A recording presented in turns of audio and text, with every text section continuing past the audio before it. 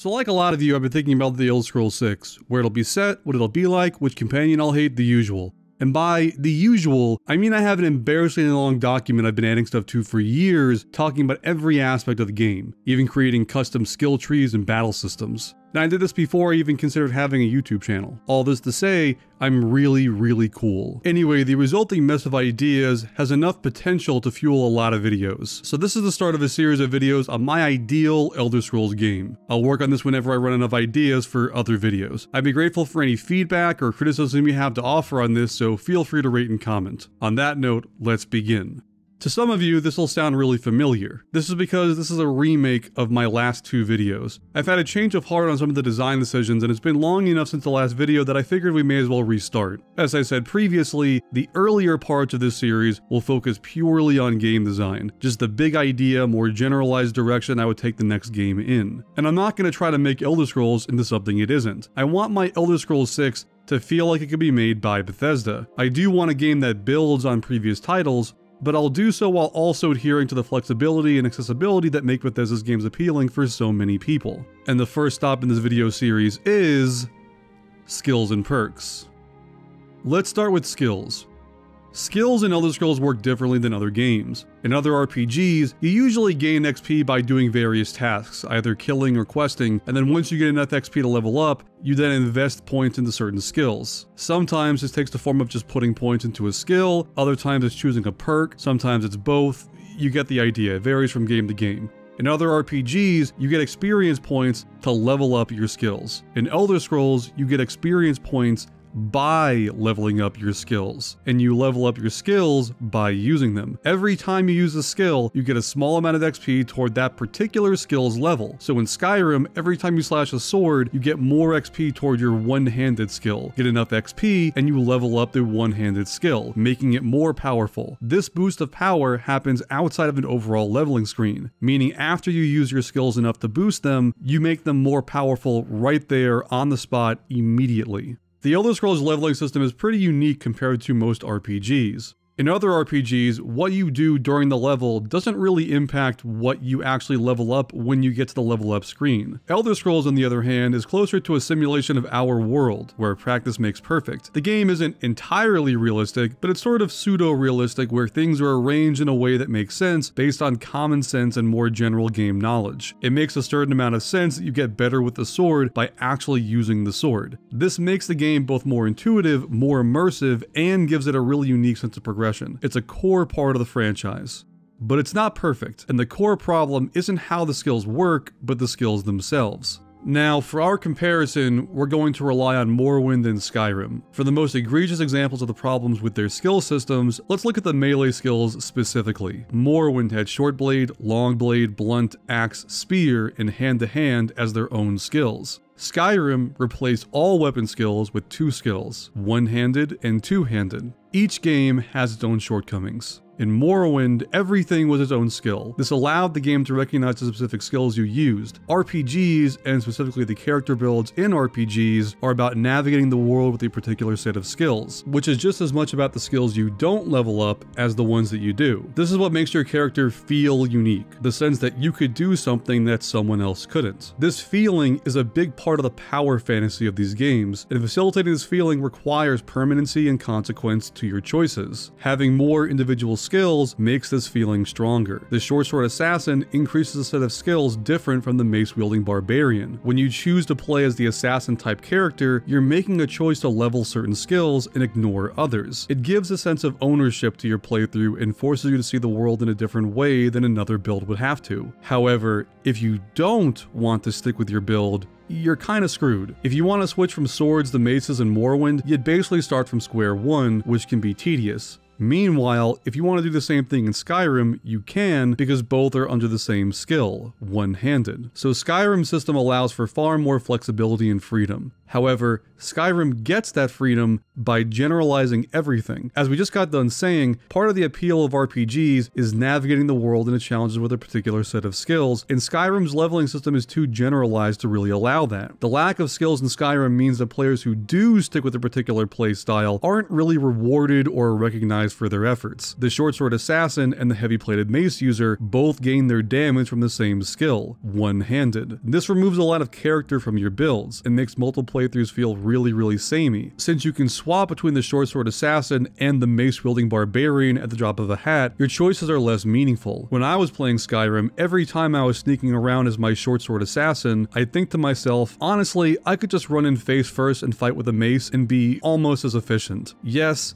even if you include the perks. Your playstyle choices don't change how you approach the game. You don't have to approach the game differently playing one build or another. The majority of my quote unquote build, all it is is a representation of my playstyle in that moment. Even if you stick with the playstyle, the game isn't really recognizing it aside from a handful of perks, and at that point, your build is basically headcanon. And this takes away from the legitimacy of your build to a lot of players, myself included. Having a lot of individual skills forces players to pick a build, and that can often make each achievement or progress you make feel that much more real, that much more earned, since sticking to your build was a struggle you couldn't avoid. Now, this does run the risk of a player haphazardly increasing in a whole bunch of skills and being really mediocre at a whole bunch of things, but these restrictions and punishments were a deliberate design decision, not an unnecessary downside. More experienced players can avoid falling into the pitfalls because they know what type of build they like and they're rewarded for that knowledge. But what about casual gamers that don't know what they like yet? There's a chance you won't like the skills you started off the game increasing, and you may find some skills later on that you do. And in a system where the only way to level up a skill is to use it, it's really tedious to start from square one. You have to go back and farm low level enemies you've already killed a whole bunch of times or spend money on trainers. It may be appealing to just start a build over from scratch if not create an entirely new character. And what about the people who like the flexibility of being able to switch strategies or builds without as much struggle? Many people approach Elder Scrolls as more of an open world action game because that's the closest to the experience with RPGs that they have. If you try that approach in a Morrowind style game, you'll spend a lot of time being a jack of all trades, master of nothing but dying a lot, which isn't fun. My Elder Scrolls 6 would hopefully be a balance between these two systems. It would be a combination of the strengths of Morrowind and Skyrim while trying to fix their weaknesses. It'll require a bit of compromise from either side,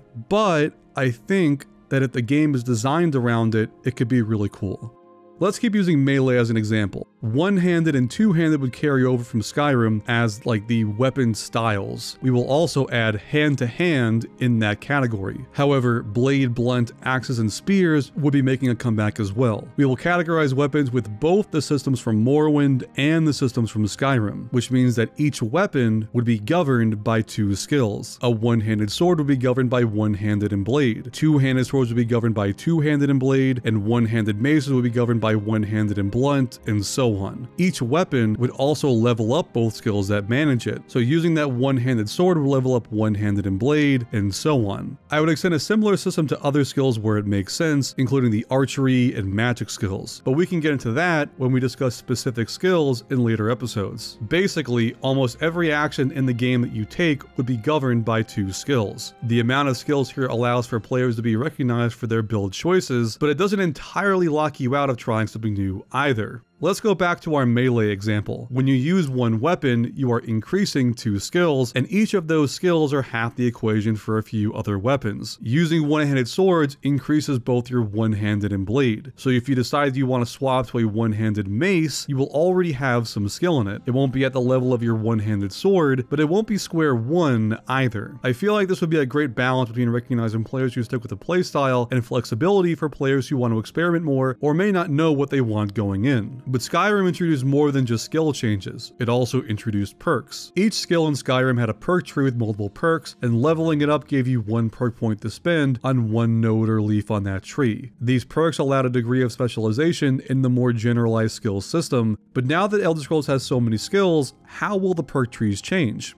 Well, Let's get into that. I really liked the addition of perks to the Elder Scrolls series. Some of the perks were really fun, and on paper, perks can provide a great sense of progression, but like the skill system, it wasn't perfect. I have two big issues with the way perks were implemented in Skyrim. Issues that Bethesda has gone on to improve in other games, and I would want my Elder Scrolls 6 to have those improvements. But for now, let's list the issues. One big issue was the perks themselves. Most of the perks were just linear stat boosts, and since linear stat boosts are already covered by just leveling up the skills, it makes the perks feel a bit redundant. The perks rarely made you approach the game differently. Even failing that, they rarely recognize particular playstyles. Modders have done a good job showing the potential of a perk system for both fun gameplay and role playing, but so is Bethesda with their Fallout games. In particular, Fallout 4 had a lot of really cool options for advanced players. Things like attacking limbs repeatedly increasing accuracy, or getting to bank more critical hits to use later, or shooting through walls and armor. These are perks that change the way you look at the game, adding depth and variety while making the player feel smart for building their strategy around them. This feeling is mostly absent in Skyrim, so my perk system for Elder Scrolls 6 will change that. The second and biggest issue for me is that leveling feels too gamey. Elder Scrolls is a series that has been more and more shifting to this action slash immersive sim slash RPG hybrid, with you using skills to level up and the NPCs having all these immersive schedules and the Havok physics engine and the building elements and, and all that good stuff. But their perk system is essentially the same Diablo 2 knockoff that every other RPG uses. A lot of stat boosts and a mostly linear tree that is arbitrarily connected in a separate menu, disconnected from the world or anything else you're doing at all. I feel like a more organic and immersive perk system, one more connected to the world, would be a better fit for the Elder Scrolls series and be the change the series needs to stay fresh. So now, let's go into my perk system. 1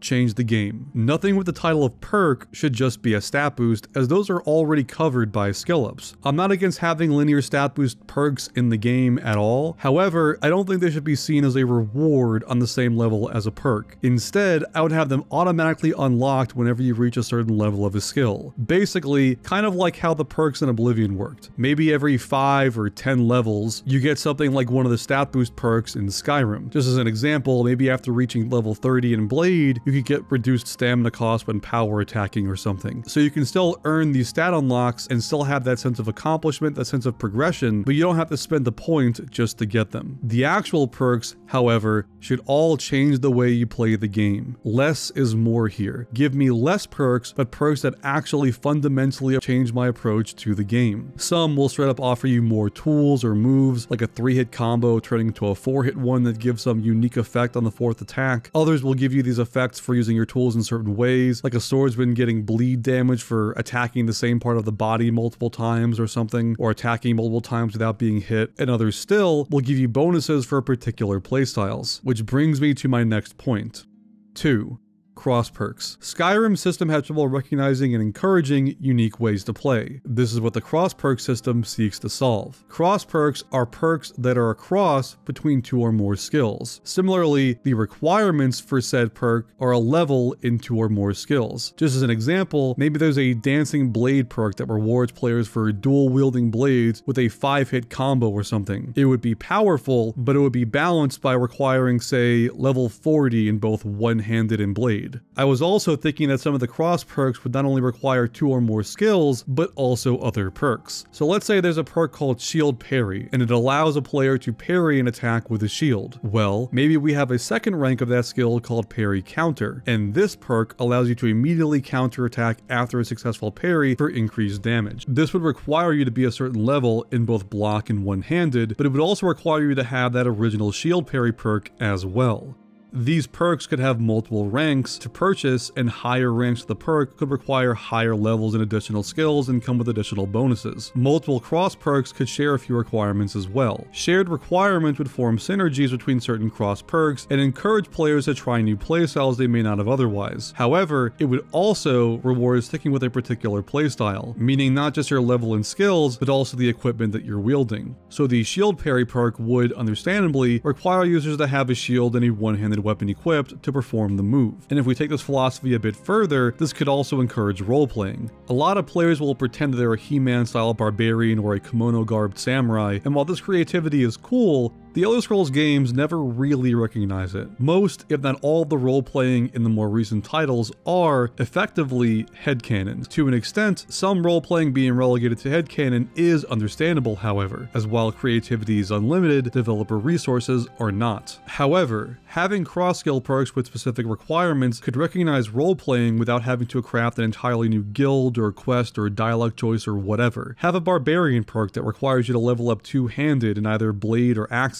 but also requires you to be wearing light armor. Whereas a more Akaviri inspired Wandering Blade perk could require you to increase in blade and two handed and to not only be wearing no armor, but robes specifically. And unlike a one-off dialogue choice or quest, these perks would stick with you for the entire playthrough, a constant reminder of the type of character that you're trying to build. Overall, this perk system is a sort of counterbalance to our skill system. Whereas our skill system allows for more flexibility to switch gears mid-playthrough, our perk system encourages role-playing and sticking to specific playstyles. But in order to fully utilize this system, they need to understand it. Which brings me to my next point. 3. UX. So how will the perks be organized? Well, this is my first controversial change to perks. I think we need to get rid of perk trees. That doesn't mean that we won't have a visual representation of the perks that you've unlocked or have yet to unlock, they just won't be connected like a tree. Think more like Fallout 4 than Skyrim. In Skyrim, the perk tree was connected by branches and to get to a perk higher in the tree, you needed to increase in the previous perk below it. The thing is, most of these perks have nothing to do with each other. Like one will give you increased speed and the other will give you increased damage. There's no reason those need to be unlocked in a certain order. In this way, perk trees in Skyrim don't really make as much sense as trees in the series. I'd guess this limitation was there to discourage players from using all of their perk points on mainlining one particular skill above all others, but since skill requirements on perks already kind of do that, and again, the perks themselves don't really build on each other, it feels kind of limiting for no reason. I think Fallout 4 had it right where anything that would make sense as a perk tree could instead be separated by multiple ranks in one perk. And like Fallout 4, the perks that don't are just in a chart of individual perks that that don't really connect to the perks near it. Another reason for doing things this way, however, is that I want the player to avoid having to look at level up screens and menus as much as possible. I want them to feel like an adventurer, not an accountant. I think that number crunching game works well for other RPGs, but Elder Scrolls is all about immersion, and I think having to analyze a tree and see what other perks you need to level up to get access to leveling up another perk and what perks you'll be leveling up in the future just kind of makes this adventure into a numbers game. This is also why we're taking away individual individual perk trees for each skill. In my ideal Elder Scrolls game, we're going to have a ton of skills to recognize a player's choices. Almost anything you do in the game will have two skills governing it. To have an entire tree for each one of those skills would be an insane amount of menus. Worse yet, the resulting trees would have like a handful of skills in each tree, and a lot of those would probably be a lot of duplicate skills or perks that have nothing but here's the same thing, but it worked with axes instead of swords or whatever. It'd be tedious and useless. Some may point out that this system is now now missing the source of progression that comes from leveling up your skills. However, if you remember what I said earlier in the video, each individual skill should have some passive stat bonuses that automatically unlock as you level up. So that's essentially the modern perk tree. It's a perk tree that the player doesn't have to keep up with. So how will this new perk system be organized? Well, instead of having a bunch of smaller perk trees, we'll instead have fewer but larger perk areas. Your perk screen will have three circles, Warrior, Rogue, and Mage. Each will have a set of related perks in the circle. The circles could have colored smoke as a background, the Warriors would be red, Rogues would be green, and the Mages would be blue. So it forms a nice RGB color wheel. So that's how it looks, but let's talk about how it works. The requirements of these perks would depend on which circle they're in. The warrior perks will require skills you typically associate with a warrior, like weapon and armor skills. The rogue perks will require skills associated with a rogue, like thief, archery, alchemy, and speech, and the mage perks will require skills you'd associate with a mage, so all the schools of magic and enchanting. So for example, let's go back to our shield parry perk from before. This perk would be firmly in the warrior circle, as it requires the block skill. The same logic would apply to cross skills within the same group. Let's say you have a cross perk where if you dual wield one-handed blades, you get some kind of special bonus attack or effect. This would be a cross between two skills, one-handed and blade. Since both of these skills are warrior skills, the cross perk would be in the warrior tree. We'll use similar logic with rogue and mage circles as well. So that's the three mage circles. But what about the cross perks, the ones that are a cross between two different types of skills? What about the perks that don't fit neatly into either circle? Well, that's where you take these three circles and make them a Venn diagram. The resulting overlaps would be their own sections that contain their own cross perks. There would be perks that require a combination of skills or perks that you would associate with more than one of our groups. They'll be color coded too based off of the RGB color wheel. The overlap of warrior and mage, red and blue, would be purple. Warrior and rogue, red and green, would be yellow. And rogue and mage, green and blue, would be cyan. So for example, let's say there's an ability called Battle Mage that lets you infuse your one-handed weapon with the power of a spell in your offhand. It would require both magic and warrior skills and would go into the purple section between them. An ability called Hidden Magic that lets mages do sneak attacks would require both rogue and mage skills and would go into the cyan section between them. And a perk that gives you a chance to instantly kill someone with a sneak attack if you have a one-handed blade would require both rogue and warrior skills and would go into the yellow section between them. And as far as how the perk system is organized, that's basically it. It'll work very similarly to Fallout 4, where when you level up, if you have the level requirements, you can just get the perks that you want.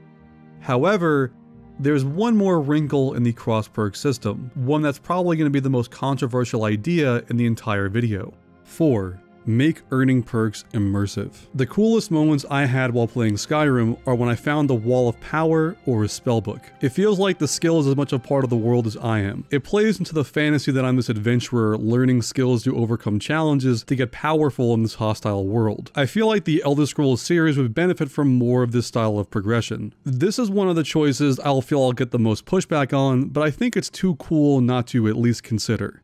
Make every perk be a skill you have to learn by reading a tangible book or a scroll. Basically, make skills function like spells, or even weapons and armor. Basically make them function like an actual item. And like any other item, you can buy them, earn them, steal them, or find them. Here's the counterbalance to make things easier. No perk points. Once you find the perk, if you have the required stats to use it, you can now use that perk.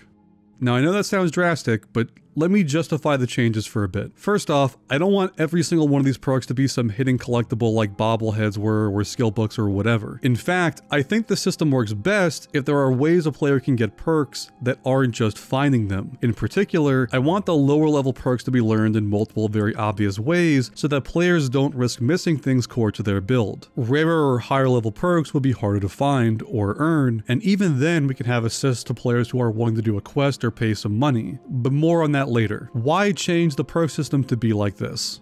Well, there are a few reasons, but the biggest one is that it solves one of my biggest problems with RPGs. Most quest rewards are boring. In most RPGs, including Elder Scrolls, nearly all quest rewards are finite except XP and money. That unique item, it may be cool if you're role-playing, but you'll likely find an objectively better piece of equipment a few levels later. Even gold can lose its value toward the end of the game as you get closer and closer to finishing your build and thus have nothing to spend your money on. So really, XP is the only reward that is consistently valuable, meaning guild halls, quest givers, enemies, dungeons, they may be fun to do for their own sake, but as far as what they give you, their reason to exist outside of more content is only as good as whether their quests give you enough XP to level up and grow in power on your own. My goal here is to get my parry skill, but to do that I need to level up, and this guy will give me XP if I do a quest for him. In this way, having rewards and level ups run in XP means that each NPC has a mathematical value. How much much XP am I getting per hour of play? Is this guy's horse really worth my time? It turns this living, breathing world into a math equation, and all the world building in the world can't overcome my lizard brain's desire to be mathematically the best. It creates this almost resentful and adversarial relationship between the player and the world. I don't really need this NPC to get the skill, I just need his reward so that I can do it myself. Like, oh yeah, it's this schmuck. Yeah, I may as well help him, I need the XP. And that's assuming it's worth helping him at all.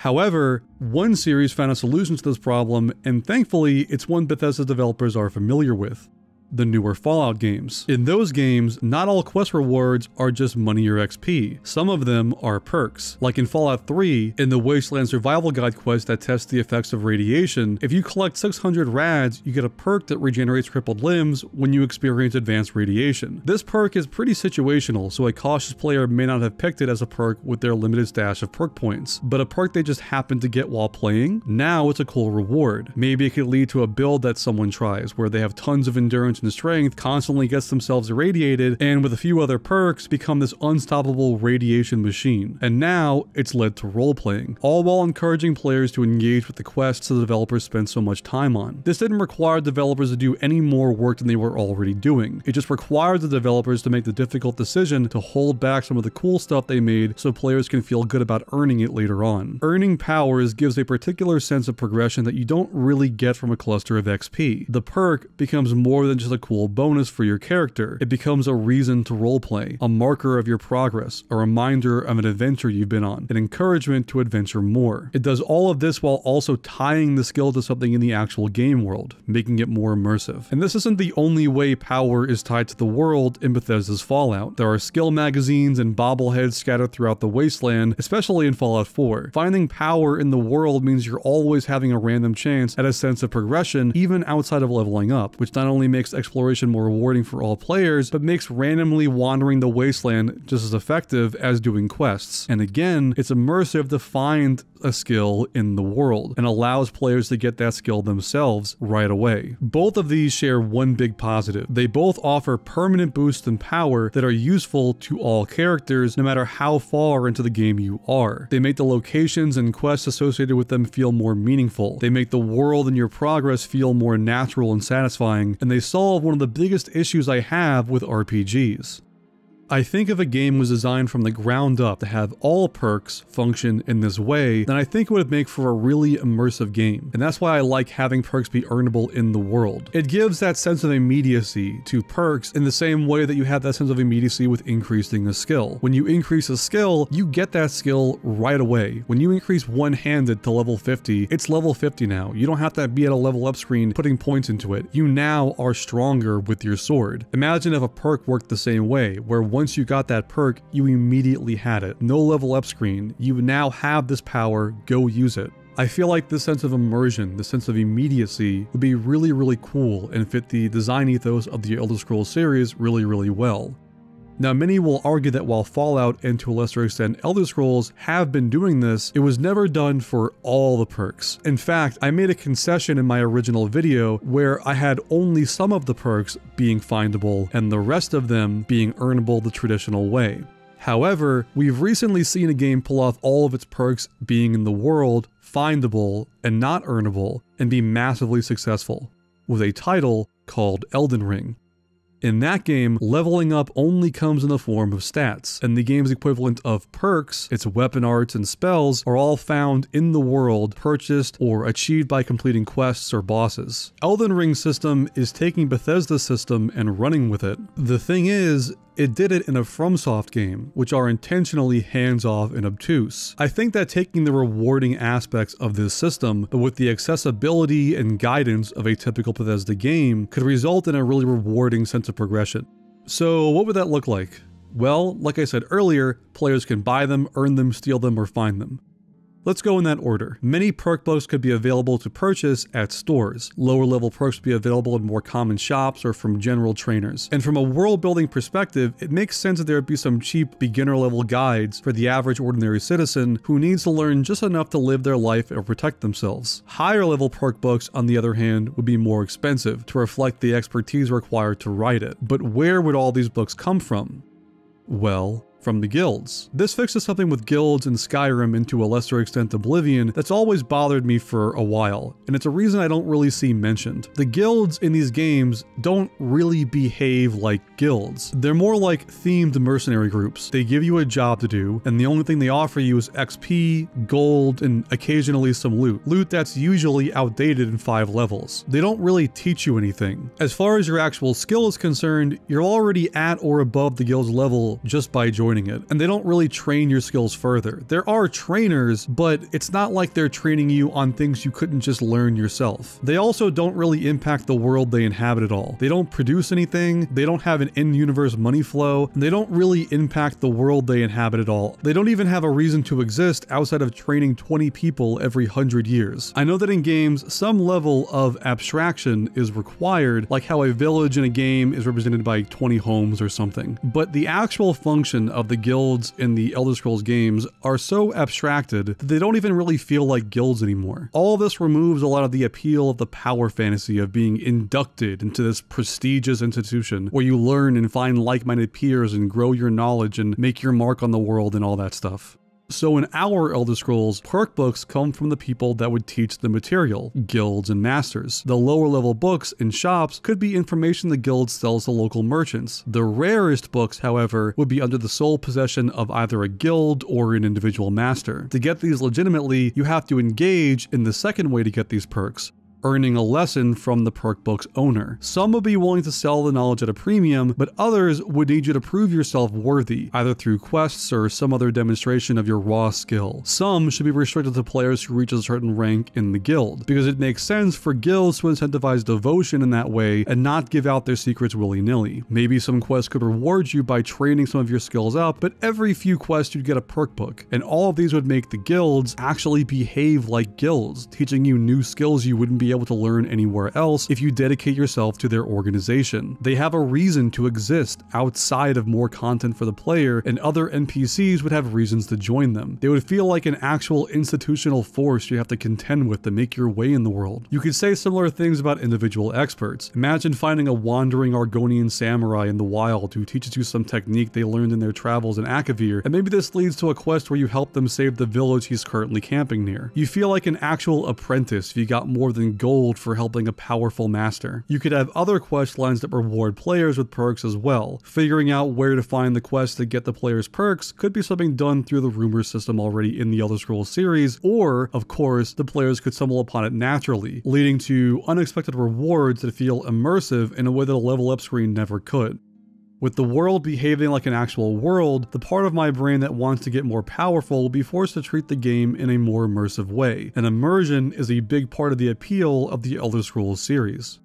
Of course, you could also get any of these books through more illegitimate means, but the rarer the book, the harder it'll be to steal. And that makes sense. The rich and powerful will sell some of their knowledge to the common folk, but would save the best for themselves. We could even connect us to the Thieves Guild. Maybe some of their quests require the player to steal certain rare books to copy and distribute to the masses free of charge. The Thieves Guild stealing from other guilds could be reacted to in the world. Maybe it leads to some antagonism between guilds, which I feel was missing a bit in the last two mainline Elder Scrolls titles. It would restore restore the Thieves Guild to the Robin Hoods they were in Oblivion instead of the sewer mobsters they were in Skyrim. So these gameplay changes could even enhance the story, and the quest doesn't have to be theoretical either. Once you do these quests and steal these books, you could actually see copies of the perk book making the rounds in poorer marketplaces and seeing more NPCs actually use the perk while fighting, both friend and foe. This is something Bethesda does with a lot of their quests anyway, but now they can apply that same talent to perks. That's the beauty of making perks these physical objects objects in the world. It leads to all these organic immersive scenarios. And speaking of organic, there's one more way the player can find these perks finding them. Books that can be bought at common stores can also be found on adventurers outside of town or on bandits that stop the adventure early. They can be found on some random chests, abandoned camps, at the bottom of waterfalls, and other places someone can lose a book. But these are the books the civilized world knows about. Tons of knowledge is lost to history, especially during times of war. So naturally, some books will be hidden in lost tombs and dungeons, and can be found by a keen eye and an explorer. However, to avoid the risk of players missing perks that could be core to their build, there can be ways that they can figure out the location without randomly stumbling upon them. I was thinking we could have some ancient maps that the players can buy that reveals their location, even if it's like a general area kind of just circled on a map and the player still has to kind of look a little bit to find it. We could even link this back to the world again. Maybe some maps can be bought from more high-end merchants, but other maps are only available from guild halls. Maybe you can get the maps as rewards, or on the flip side, maybe they give you the map and the quest is to retrieve the perk book for the guild. And if you've already gotten the perk, you get the quest rewards automatically once you join the guild. Maybe there could be an entire explorers guild whose mission is to recover artifacts in nearby monster infested ruins before they're lost to history, and these people could sell you maps to track perks as a radiant quest. Even then, with the amount of perks out there, most players will randomly stumble on at least a few perks, and that would make exploring feel that much more meaningful. The world wouldn't just be a place to conquer, it has things to teach you. The more hidden perks you find would feel like this lost knowledge being unearthed or forbidden knowledge being unleashed. Some of the rarer books in the wild would be knowledge that only you would know, playing even more into the power fantasy of this series in a way that doesn't break immersion. These perk books can be in important locations dusty tombs, at the end of dungeons, or in the clutches of monsters. Imagine having to grab a perk book from the tomb of an ancient skeleton necromancer, only for this action to wake them from their slumber and start a boss fight. A boss that uses the perk against you during the fight. Some of you may see this perk system as a risky play, but I really don't think so. Again, Elden Ring is a massive success and it's way more restrictive and far less handholdy than my system is. But it's more than that. I don't think that Bethesda's fanbase are in the business of avoiding content. Most of their fans are either casual and probably wouldn't care if they missed a perk or two, are role players who would appreciate the immersion, or are completionists who appreciate having to work for their completions. I don't see this idea leaving many people out, especially if you provide ways to get get around it. But what this would add to a game like Elder Scrolls is irreplaceable. You'd have rewards for your efforts that are more permanent than loot or more exciting than XP, rewards that'll always be useful in a way that makes more sense in universe, making the player that much more attached to all the towns and tombs they visit. Exploration would be more meaningful as any random tomb could have a surprise boost in power, an ancient piece of knowledge that gives you an advantage over your enemies. But buying maps of these locations would still allow players who like to plan out their builds to consciously seek out specific perks, as well as give them something useful to spend their excess money on, all while making players feel like an explorer or a treasure hunter in the process. Overall, a system like this would create a huge drive to explore the world and make mastering even basic skills that much more satisfying. It would naturally play into the type of power fantasy the more recent Elder Scrolls games are trying to offer, and it would do all of this in a way that enhances world building and immersion. If you force players to engage with your world, they get to experience the best parts of your game, holding even a little bit of your content back could go a really long way. Either way, I think my ideas for these perks, both in the perks themselves and how you unlock them, could be huge for the series. And that's it for skills and perks, at least a general overview. We'll have individual episodes on what the actual perks are, how they relate to the skills and stuff like that, but that's not going to come for a while. I want to try to push this out as soon as possible, as a lot of these ideas are already written in that big Google Doc I talked about. They just need to be, you know, turned into a script, so stay tuned. And if you want to see more of this, be sure to like the video, subscribe, hit the bell to be notified of my new videos, and share it around the people who you think would be interested. Next episode will be about attributes and leveling. And if you thought that this episode was controversial, oh boy. See you next time.